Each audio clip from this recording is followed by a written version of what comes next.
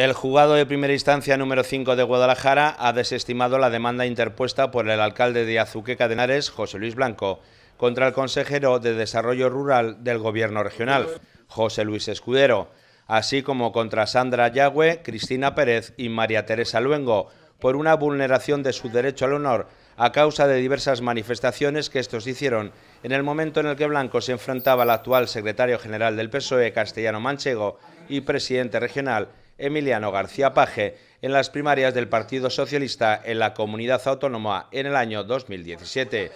Asimismo, impone a Blanco el deber de pagar las costas procesales. El alcalde de Azoqueca interpuso esta denuncia el 24 de enero de 2018, siendo admitida a trámite el 9 de abril de este mismo año y celebrándose una audiencia previa el 19 de marzo del 2019. Finalmente, la vista se produjo el 17 de junio del presente año. Blanco realizó esta demanda con motivo de las opiniones vertidas por María Teresa Luengo en una publicación de Facebook, a una entrevista a José Luis Escudero, a una publicación en Twitter de Sandra Yagüe y en el caso de Cristina Pérez a otra publicación en Facebook. En estas publicaciones los demandados, ahora exonerados, criticaban la actitud de Blanco por salirse de la disciplina del partido, pactar con un trásfuga y acusarle de falta de transparencia, democracia y falta de respeto a la militancia. La sentencia considera que las expresiones vertidas son personales y que se circunscribían en el contexto de unas elecciones primarias a la Secretaría General del PSOE de Castilla-La Mancha